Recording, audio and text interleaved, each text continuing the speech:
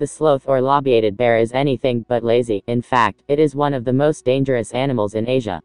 Known by its scientific name, Melursus ursinus, this resident of India weighs anywhere between 55 to 200 kilograms, 120 to 425 pounds, reaches a body length of 1.9 meters m, 6.2 feet, and travels at speeds of 40 kilometers, 25 miles per hour.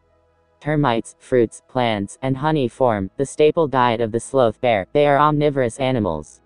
Even if they don't hunt mammals, they will attack humans that disturb their natural habitat, causing 5 to 10 deaths a year. An undeniable threatening animal, the sloth bear is known for its large size and powerful claws shaped like sickles. It is definitely a force to be reckoned with.